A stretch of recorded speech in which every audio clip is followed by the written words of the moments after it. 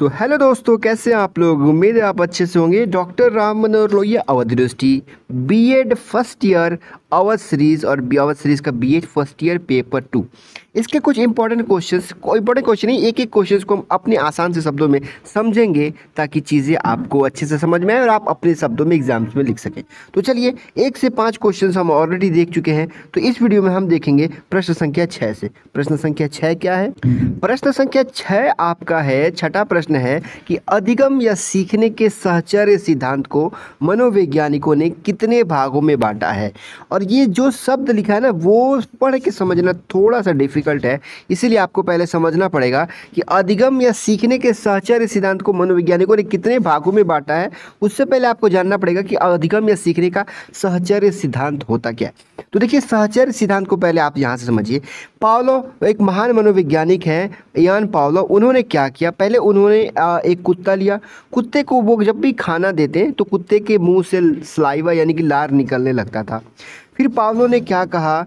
कुत, क्या किया कि कुत्ते को एक बार घंटी बजाई। तो भाई घंटी बजाने से कुत्ते के मुँह से लार तो निकलेगा नहीं। अब कुत्ते को जब भी खाना देते थे पावलो जी, खाने के साथ साथ घंटी बजाते थे। तो कुत्ते का लार निकलता था। यहाँ ध्यान से देखिए, एक बार जब उन्होंने खाना दिया तो कुत्ते का सलाइवा लार निकला। अब क्या करते थे? जब भी कुत्ते को खाना देते थे, घंटी बजाते थे और इससे कुत्ते को यह लगा कि जब भी घंटी बजेगी, उसे खाना मिलेगा। उसके, उसका एक संबंध स्थापित हो गया घंटी से। और एक दिन क्या हुआ, पावलव ने बिना खाना दिए घंटी बजाई तो कुत्ते के मुँह से सलाई यानी कि लार निकलने लगा। तो क्या हो गया? पहले चूँकि कुत्ते का लार खाने के लिए निकलता था, लेकिन खाने को और घंटी को एक साथ जोड़ दिया गया यहाँ पे तो कुत्ते का घंटी के साथ एक संबंध स्थापित हो गया, सहचर्य संबंध स्थापित हो गया। इसी सिद्धांत को सहचर्य सिद्धांत कहते हैं, ठीक है? आप शब्दों को समझिए। देखिए, सहचर्य सिद्धांत से अभिप्राय उन सिद्धांतों से है जो मानव व्यवहारों को नियंत्रित करता है, क्योंकि कुत्ते का लार निकलना यह व्यवहार है, ठीक है? और ऐसे मानव के व्यवहार होते हैं, उनका भी एक व्यवहार है। सीखने की क्रिया में जो अनुकूल एवं प्रतिकूल, यहाँ पे ध्यान से देखिए, सीखने की क्रिया में जो कुछ अनुकूल, यानी कि एक्शन रिएक्शन अनुकूल एवं प्रतिकूल, परिस्थिति, घटनाओं और वस्तुओं की उपस्थिति कारण उनसे सीखने की क्रिया का सहचर्य स्थापित हो जाए। समझ में आ रही बात? जैसे डॉगी का घंटी के साथ सहचर्य स्थापित हो गया। वही बात की जा रही है, क्योंकि वो परिस्थिति ऐसी थी कि खाने के साथ घंटी दिया जाता था तो सहचर्य स्थापित हो जाता था, हो जाए और उनके द्वारा सीखने की क्रिया प्रभावित होती है। समझ में आ रही बात? इसी सिद्धांत को क्या कहते हैं? अधिगम का सहचर्य सिद्धांत कहते हैं। अब इसके बाद क्या होता है? परि, परिणाम स्वरूप मानव या पशु के व्यवहार पर इसका प्रभाव पड़ता है। बात समझ में आ गई दोस्तों? चलिए, बहुत अच्छी बात है। अब व्यक्ति के व्यवहार भी सहचर्य नियम से नियंत्रित होते हैं। तो सहचर्य नियम यही हो गया कि जब हम किसी परिस्थिति से अपना सहचर्य स्थापित कर ले, एक संबंध स्थापित करें। बात समझ में आ गई? अब यहाँ पे सवाल यह है कि यह कितने प्रकार में है? तो ये तीन प्रकार में है। पहला, अनुकूलित अनुकूलिया का सिद्धांत मतलब क्लासिकल कंडीशनिंग थ्योरी और पावलो की जिस थ्योरी का मैंने यहाँ पर एग्ज़ाम्पल लिया था ना, यही इसी थ्योरी को हम क्लासिकल कंडीशनर थीरी या फिर पावलो थ्योरी कहते हैं। दूसरा, उद्दीपन अनुक्रिया एस आर थ्योरी इसको स्टिमुलस रिस्पॉन्स थीरी भी कहते हैं, जो कि थॉन डाइक ने दिया था, बिल्ली पे प्रयोग करके, उसको, ये भी उसी का एक, क्या है? भाग है। और देखिए, तीसरा है पुनर्बलन सिद्धांत, यानी कि रेंसफोर्समेंट थियरी समझ में आ गई बात? तो यह अधिगम के सहचर्य सिद्धांत को तीन भागों में बांटा गया है, ठीक है? तो यह हो गया प्रश्न संख्या छः चलते हैं प्रश्न संख्या सात की तरफ़। प्रश्न संख्या सात है, वंशानुक्रम प्रक्रिया से आप क्या समझते हैं? तो देखिए, किताबों में कुछ अलग भाषा में लिखा है, लेकिन आसान से शब्दों में मैं आपको ऐसे बताऊँगा कि जिस विधि के द्वारा माता पिता के गुण बालक के व्यक्तित्व में लाए जाते हैं उसे वंशानुक्रम कहते हैं। यही तो होता है ना माता पिता के गुण बच्चों में आ जाते हैं।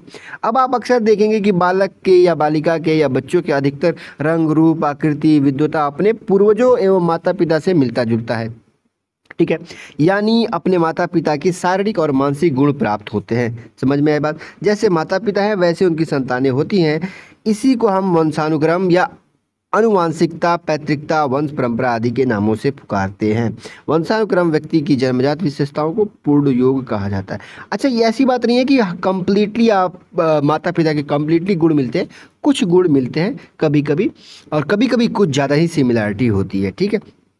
अब चलिए अगला प्रश्न देखते हैं। प्रश्न संख्या आठ। और प्रश्न संख्या आठ ये है कि विकास की कितनी अवस्थाएँ होती है? तो देखिए, सिंपल सी बात है, विकास की चार अवस्थाएँ। डॉक्टर ऑर्नेस्ट जॉन्स ने कहा है कि चार अवस्थाएँ होती हैं। पहला कौन सा? शैस्यावस्था शैस्यावस्था का मतलब वो जन्म से पाँच तक। जन्म से पाँच वर्ष के बच्चों को शैस्यावस्था में रखा जाता है। छः से बारह साल के बच्चों को बाल्यावस्था और बारह से अट्ठारह वर्ष टीन एज यानी कि किशोरावस्था और अट्ठारह वर्ष के बाद को प्रौढ़ावस्था कहते हैं। यह विकास की कितनी अवस्थाएँ डॉक्टर ऑर्नेस्ट जॉन्स के द्वारा दिया गया है। प्रश्न संख्या नौ देखेंगे दोस्तों। अभिप्रेरणा क्या है? अभिप्रेरणा को इंग्लिश में कहते हैं मोटिवेशंस अब आप बताइए मोटिवेशंस क्या होता है? मोटिवेशन ऐसी चीज़ है, वो ना आम बोल चाल की भाषा में कहते हैं। किसी को मोटिवेट करना, अभिप्रेरणा देना, या फिर ऐसे कहते हैं ना, किसी को चढ़ा देना। मतलब किसी बच्चे को ऐसे चढ़ा दो मतलब मोटिवेट कर दो तो वो बंदा कहीं जाके झगड़ा कर लेता है, कुछ भी कर सकता है। मतलब उसके अंदर एक उत्तेजना आ जाती है। यही तो यहाँ पे लिखा गया है।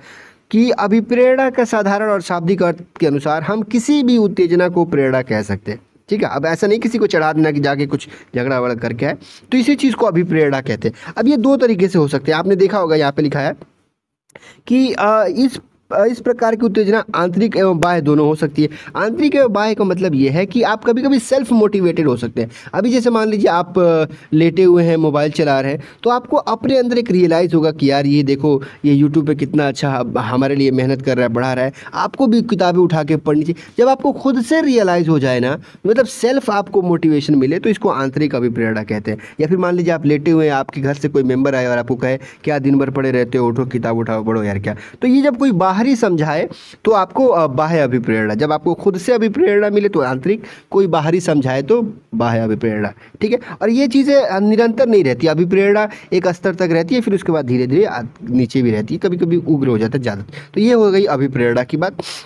अभिप्रेरणा के बारे में गुड ने कहा है कि प्रेरणा कार्य को आरंभ करने, जारी रखने और नियमित करने की प्रक्रिया है, ठीक है? प्रेरणा क्या है भैया? किसी कार्य को स्टार्ट कर सकती है, उसे कंटिन्यू रख सकती है, उसे नियमित करने की प्रक्रिया है अभिप्रेरणा, ठीक? अभिप्रेरणा को आप समझ सकते हैं, अगर आप जिम ज्वाइन करना चाहते हैं तो इसके लिए आपके मोटिवेशन मोटिवेशन मतलब हर चीज़ में ज़रूरी है। चलिए प्रश्न संख्या दस देखते हैं। प्रश्न संख्या दस है, अंतर्दृष्टि या सूझबूझ के सिद्धांत को समझाई अब अंतर्दृष्टि या सूझबूझ के सिद्धांत को सिंपल सी बात यही समझ लीजिए, इसमें आपको बस इतना जानना है कि यह ये जो सिद्धांत है, वो किसके द्वारा दिया गया था? जर्मन मनोवैज्ञानिक वर्दिमर कोफका तथा कोहलर ने। मुख्यतः कोहलर के नाम से यह फ़ेमस है। ठीक है, इसको अंग्रेज़ी में गेस्टॉल सिद्धांत भी कहते हैं। ये सिद्धांत वास्तव में है क्या? ये सिद्ध ओके यह सिद्धांत ये है कि देखिए इंसान कोई भी काम जब सीखता है अब यहाँ पे देखिए हम अपने जीवन में कुछ कार्य करते हैं बल्कि हम आ, बल्कि हम अपने आप सीख लेते हैं। कुछ ऐसे काम होते हैं जिसके हम खुद सीख लेते हैं ठीक है? दूसरा कुछ काम ऐसा होता है इस प्रकार के आ, कि कुछ काम आप दूसरों को देख के सीखते हैं। आपको यहाँ पे लिखा होगा सॉरी थोड़ा सा मिस्टेक हो गया। देखिए हम अपने जीवन में कुछ कार्य ऐसे भी करते हैं जिन्हें न तो दूसरे के द्वारा करता हुआ देखते हैं न दूसरों के बताए के अनुसार। मतलब कुछ काम आप आप किसी को देख के सीखते हैं, कुछ काम आप किसी के दूसरे के द्वारा बताए गए सीखते हैं। कुछ काम ऐसे होते हैं कि आप अपने आप सीख जाते थे परिस्थिति ऐसी होती है जो आपको सिखा देती है, ना आपने कहीं देखा, ना आपने कहीं सुना, ना कहीं आपने जाना।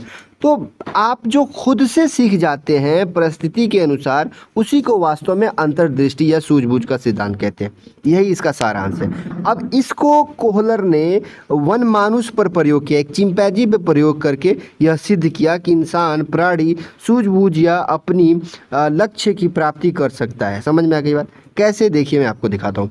उन्होंने क्या किया? एक कमरे में एक पिजड़े में एक चिंपैंजी को बंद कर दिया। और ये बहुत इंपॉर्टेंट है, अक्सर पूछा जाता है कि कोलर का सूझबूझ का सिद्धांत को व्याख्या करिए उन्होंने कमरे में एक चिंपैंजी को बंद कर दिया। ठीक है, उस चिंपैंजी का नाम था सुल्तान। अब ऊपर उन्होंने एक केला लटका दिया और उस कमरे में छोटे छोटे बॉक्स इधर उधर बिखरे पड़े थे। अब वो चिंपैंजी को भूख लगी और वो केला खाने का प्रयत्न करता, लेकिन उसके पहुँच से केला बहुत दूर था। तो फिर चिंपैंजी ने क्या किया? पहले एक के ऊपर एक ये बॉक्स रखा, फिर एक और बॉक्स रखा और उस पर चढ़ के केला खाने का प्रयत्न किया। तो देखिए, इसमें क्या हुआ कि ये चिंपैंजी ना कभी पहले किसी से देखा था, ना चिंपैंजी को किसी ने सिखाया था। यह अपनी सूझबूझ से यह चीज़ें सीख गया कि ऐसा करेगा तो उसे केला मिल जाएगा। और इसी चीज़ को हम अंतर्दृष्टि या सूझबूझ का सिद्धांत कहते हैं। ठीक है दोस्तों, उम्मीद है समझ में आएगी। बात करते हैं पालो की क्लासिकल अनुबंधन सिद्धांत। वही मैंने आपने बताया ना कि आपको ये जो डॉग वाली जो स्टोरी थी यही पावलो का कंडीशनल थ्योरी यानी कि पावलो का आ, कौन सा सिद्धांत? अनुबंधन सिद्धांत। यहाँ पे अनुबंधन सिद्धांत पावलों का है ठीक है? तो इसको एक्सप्लेन हम कर चुके हैं और मैं आपको एक वीडियो रेकमेंड करता हूँ मेरे द्वारा बनाया गया। इस वीडियो को देखिए ठीक है? इस वीडियो में विस्तृत रूप से मैंने इसको एक्सप्लेन किया है पावलो का कंडीशनल थ्योरी तो आप वहाँ से यहाँ पे देख सकते हैं, ठीक है? ग्यारहवा प्रश्न हो गया। बारहवें प्रश्न की तरफ़ हम चल लेते हैं। बारहवा प्रश्न ये है कि अच्छे मानसिक स्वास्थ्य के दो लक्षण बताइए। अब कोई इंसान मेंटली अगर अच्छा हो, उसका मस्तिष्क स्वस्थ हो तो उसके लक्षण क्या हो सकते हैं? आप कुछ भी लिखिए। इस किताब को छोड़ दीजिए। आप कुछ भी लिखिए। तो चलिए, एक चीज़ तो आप एग्री करेंगे कि नियमित दिनचर्या, उसकी दिनचर्या नियमित होगी। ठीक है? वो ठीक से कार्य करेगा। दूसरा वो क्या कर सकता है? दूसरा वो उसकी क्रियाएँ अच्छी होंगी, ठीक है? वो बात व्यवहार अच्छे से करेगा, वो सोच समझ रखेगा, वो बड़ों से कैसे बात करना है, कोई कार्य करना कैसे करना है, वो सारी चीज़ें रखेगा। ठीक है? तो यही तो कहा गया संतुलित, एकीकृत और समन्वित विकास। मतलब मानसिक रूप से स्वस्थ व्यक्ति की संज्ञानात्मक, दिमाग की बात की जा रही है, भावात्मक फीलिंग की बात की जा रही है, क्रियात्मक, यानी क्योंकि एक्शंस रिएक्शंस की बात की जा रही है। क्रियात्मक प्रतिक्रियाओं की प्रस्तुति का विकास एक संतुलित एकत्रित एवं समन्वित ढंग से होता है। वो अपने जीवन के लक्ष्यों एवं उद्देश्यों को प्राथमिकता देते हुए निर्धारित कर, कर देते हुए निर्धारित करते हैं तथा क्रमबद्ध रूप से विकसित करते हैं। ठीक है? वो अपने सारे काम अच्छे से करता है। नियमित दिनचर्या मतलब सुबह सही टाइम से उठना खाना पीना नहाना धोना ये सारी चीज़ें करते हैं। कौन? जिसका मस्तिष्क स्वस्थ हो। नेक्स्ट बात करेंगे शैशवावस्था का क्या अर्थ है? तो आपको बताया था शैशवावस्था जन्म से लेकर छः वर्ष जन्म से लेके पाँच वर्ष या छः वर्ष भी कहा देखिए, वहाँ पे मैंने आपको यहाँ पे पाँच वर्ष इसलिए बताया था क्योंकि यह as it is doctor Ernest के द्वारा कहा गया। जबकि कुछ विद्वानों ने यह भी माना है कि शैशवावस्था ज़ीरो से छः वर्ष की अवस्था। आप ज़ीरो से पाँच भी लिख सकते हैं, कोई दिक्कत नहीं है। साधारणतः शिशु से जन्म से छः वर्ष की अवस्था को शैशवावस्था कहते हैं। ठीक है, हॉर्लॉक ने कहा यह जन्म से दो सप्ताह तक चलती है। अलग, मैंने कहा ना अलग अलग लोगों ने कहा। क्रो एंड क्रो ने कहा कि शैशवावस्था औसतन जन्म से पाँच या छः वर्ष तक चलती है, जिसमें इंद्रियाँ काम करने लगती हैं और बालक रेंगने, चलने या बोलना सीख जाता है समझ सीखने लगता है। ठीक है? तो ये सारी चीज़ हो गई। नेक्स्ट प्रश्न देखेंगे दोस्तों, चौथा प्रश्न है क्योंकि वीडियो को ख़त्म करना है और चौथा प्रश्न है बाल्यावस्था की विशेषता बताइए। दोस्तों, मैं आपको बता दूँ कि ये इतना ज़्यादा इंपॉर्टेंट है कि एक प्रश्न आपसे हमेशा आएगा आठ नंबर में। ये जो चारों विशेषताएँ हैं ना, उसके बारे में विशेषता बताने के लिए। सॉरी जो चारों ये अवस्थाएँ हैं, उसके बारे में आएगा आएगा हंड्रेड एंड वन परसेंट आएगा। तो आप प्लीज़ उसको ज़रूर पढ़िएगा। मैंने कुछ सारे वीडियोस बनाए हैं, आप उसके माध्यम से पढ़ सकते हैं या फिर कहीं से आप इसको ज़रूर पढ़िएगा। चौदहवा प्रश्न देखते हैं फोर्टीन नंबर बाल्यावस्था की विशेषता बताइए। अब जब बाल्यावस्था की बात करेंगे तो आपको बाल्यावस्था में आपको उम्र याद रखना पड़ेगा, क्योंकि जब आपको एज याद रहेगा तो आप आसानी से छः से बारह साल, ठीक है? अब कोई बच्चा छः से बारह साल का है तो उसकी विशेषता क्या होगी? वो क्या क्या कर सकता है? आप अपने दिमाग में एक छः से बारह साल के बच्चों की इमेज बनाइए, शारीरिक और मानसिक विकास की स्थिरता, ठीक है? अब उसका शरीर या मानसिक वो कुछ चीज़ों को समझने लगता है। मानसिक योग्यता में वृद्धि हो जाती है, जिज्ञासा की अच्छा बहुत प्रश्न पूछते हैं, जो छः से बारह साल के बच्चे होंगे ना, वो इतने आपसे सवाल पूछेंगे, ऐसा है तो कैसे, ऐसा है तो क्यों, क्या? मतलब जिज्ञासा, उनकी बात, बहुत प्रश्न पड़ेंगे, जिज्ञासा की प्रबलता, आत्मनिर्भरता की भावना मतलब उनसे कहो कि चलो हम नहा दें, नहीं, मैं नहा नहा लूँगा मतलब खुद से आत्मनिर्भरता की भावना उनके अंदर आने लगती है बाल्यावस्था में। अब बात करें किशोर अवस्था में शिक्षा का स्वरूप क्या होना चाहिए? किशोर अवस्था मतलब टीन एज की बात ही जाएगी। बारह से लेकर अट्ठारह साल, बारह से लेकर अट्ठारह साल। अब इनमें आपको थोड़ा सा फ़िज़िकल वर्क भी कराना पड़ेगा। शारीरिक विकास के लिए आपको थोड़ा सा उनको खेल कूद दौड़ भाग कबड्डी स्काउट गाइड ये सारी चीज़ें बच्चों को देनी पड़ेगी। मानसिक विकास के लिए शिक्षा, संवेगात्मक विकास के लिए शिक्षा और सामाजिक विकास, थोड़ा सा समर कैंप और चैरिटी और ये सारी चीज़ें भी कैंप करानी पड़ेंगी। फिर से बात आ गई किशोर अवस्था में एक शिक्षक द्वारा कैसी शिक्षा देनी चाहिए? वही बात फिर से यहाँ पे आ गई है। शारीरिक शिक्षा, संज्ञानात्मक, मानसिक भाषा तो ये सारे प्रश्न। तो दोस्तों, इस वीडियो को यहीं ख़त्म करेंगे। अवध विश्वविद्यालय बीएड फ़र्स्ट ईयर के सेकंड पेपर के हमने 16 प्रश्न डिस्कस कर लिए, ठीक है? और भी कुछ प्रश्न रह गए, उसको अगले वीडियो में देखेंगे। बाकी आप मुझे कमेंट में फीडबैक दे सकते हैं कि मेरे द्वारा समझाए जाने पर कैसा लगता है आपको। उम्मीद करता हूँ कि चीज़ें आपको समझ में आ रही होंगी। और ऐसे जब हम समझ के पढ़ते हैं ना तो चीज़ें क्लियर होती हैं और एग्ज़ाम में फ़ायदा होता है लिखने में। तो B Ed first year second paper Awadh series doctor Ram Manohar Lohia Awadh university सोलह प्रश्न क्लियर हो गए प्लीज़ दोस्तों, कमेंट में अपनी राय ज़रूर दें फीडबैक ज़रूर दें और प्लीज़ अगर अभी तक आपने चैनल को सब्सक्राइब नहीं किया तो प्लीज़ जुड़ जाइए और हाँ सबसे खास बात, धीरे से लिंक कॉपी करके अपने कॉलेज ग्रुप में छोड़ दीजिए, ठीक है? और उसके बाद शांत हो जाइएगा रिप्लाई मत करिएगा, ठीक है? कॉलेज ग्रुप में अपने इस वीडियो को शेयर कर दीजिए। जय हिंद, जय भारत। मिलेंगे अगले वीडियो में नए टॉपिक के साथ। अपना खूब ख्याल रखिए, पढ़ते रहिए। जय हिंद, जय भारत। अल्लाह हाफिज़।